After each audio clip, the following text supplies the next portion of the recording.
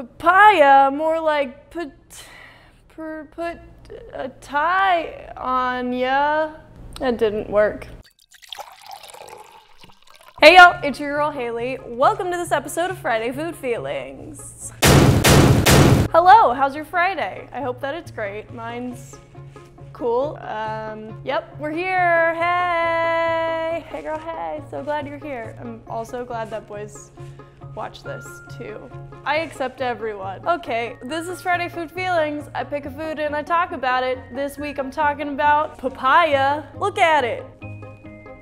Ooh, the insides are falling out. The guts are falling on me. What is the inside of this? Seeds? You eat them? I've never eaten them because I'm afraid they'll kill me, but they might not. You know, in fact, I would venture to guess that they probably will not kill me. However, don't want to take my chances. I don't know, they're black.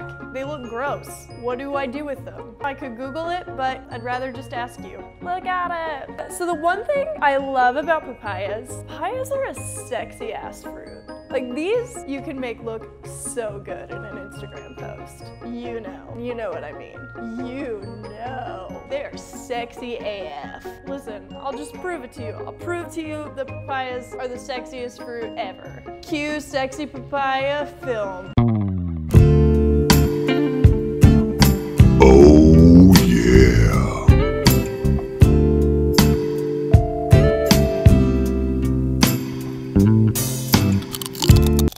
I told you they were sexy AF. You didn't even know it was coming. You're attracted to papaya now, and you're probably confused about what your sexuality is, and I'm sorry for that, but you just needed to know how sexy papaya was. That's all. But here's the other thing about papaya on the opposite side of it being sexy. It's gross. I don't like it. Tastes like baby food. It's real mushy. It tastes just like sweet, but without much flavor, and I don't like it at all. It's really gross in your mouth. And what are these seeds? They're scary. Like in theory, I'm the into papayas, but in actuality, not down. It's like a guy who's like never really had to work hard to get women in his life because he's just so attractive.